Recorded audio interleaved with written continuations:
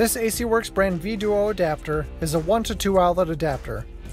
The adapter has a NEMA L630P 3-prong locking male plug to two NEMA L630R locking female connectors. It comes with nickel-plated plugs and terminals to prevent rusting and an LED power indicator. The total maximum operational power is 7,500 watts and it comes backed by a 5-year limited warranty.